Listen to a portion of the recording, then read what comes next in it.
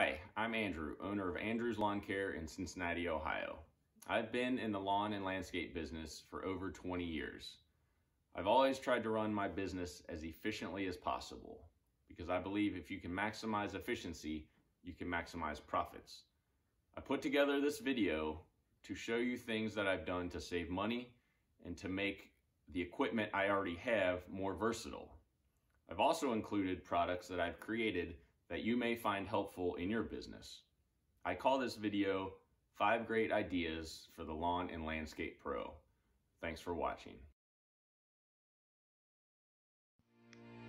We all want to keep grass clippings out of our nice mulch beds. I made my own mulcher for under $20. Simply take the discharge flap that's on your mower, remove the flexible rubber part, and weld on a thin piece of metal. Attach a bungee cord to help keep the flap both open and closed. Closing and opening the flap can easily be done by hand. Now you can mow between and around mulch beds without throwing clippings in them.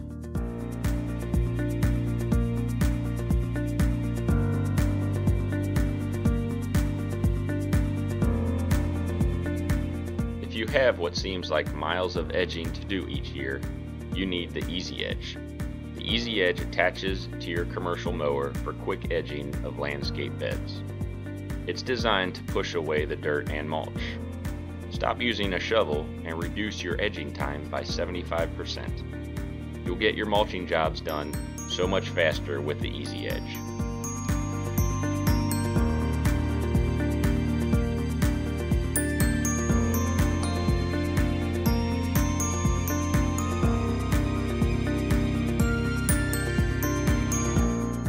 EZ Edge can be put into transport position when moving from bed to bed. It's available for purchase through my website.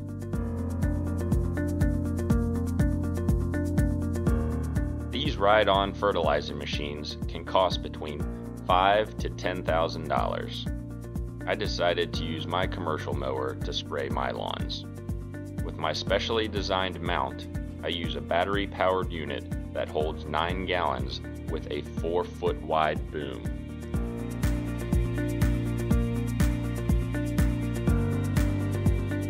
I can control the spray with a push of a button. By fabricating a mount, purchasing a spreader mate from the Griggs & Clark company, I turned my mower into a spraying machine for under $1,500.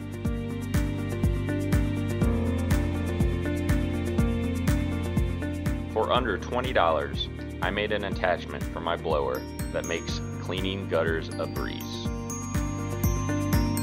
I made two different sizes to accommodate higher gutters. By purchasing gutter and downspout parts, I cut them to size and glued them together. Simply drill a hole in your blower and attachment and secure with a long pin. The attachment is lightweight, so it's easy to carry around.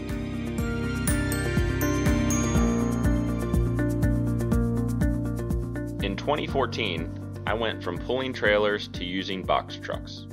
It was a total game changer.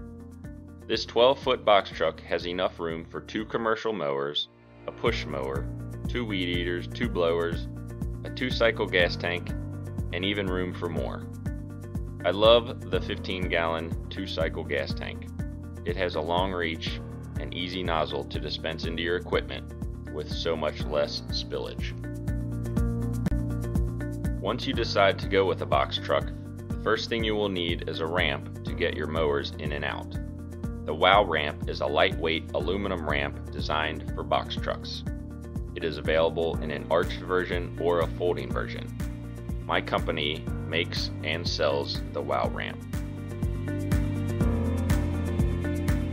More information about the products in this video can be found at these websites.